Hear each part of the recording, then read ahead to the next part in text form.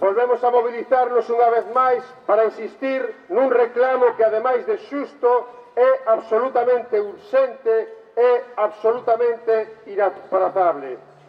O indulto para os compañeros Carlos Serafín. Nos últimos meses asistimos a un cambio de goberno do Estado coa caída do Partido Popular.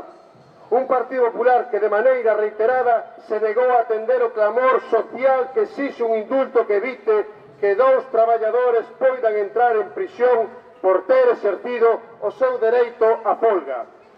O sadismo do Partido Popular contra Carlos e Serafín era só reflexo da súa determinación por atacar o sindicalismo como maneira de debilitar a resposta da clase traballadora diante da crecente explotación laboral, da brutal precariedade que padecemos e dos recortes antisociais. Cen días despois da entrada do novo goberno, lamentablemente temos que dicir que a situación non cambiou.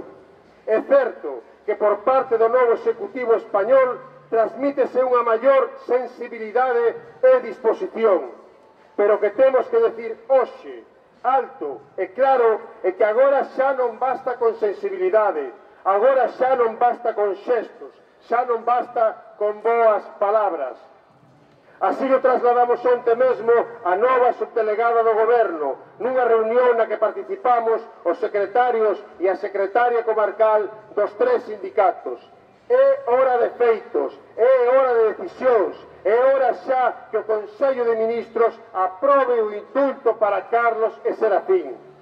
Non hai excusas, non hai períodos de gracia, nin prórrogas. Exiximos o indulto, exixímolo xa porque defender a clase traballadora non é delito, porque participar nunha folga en defensa dos teus dereitos non pode ser motivo para perder a libertade.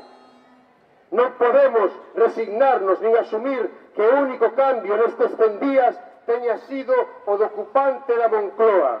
Non pode haber cambio de época, como presume Pedro Sánchez, mentras haxa traballadores baixo a ameaza real de poder entrar en prisión e ver troncadas as súas vidas polo mero feito de reclamar a mellora das súas condicións laborais.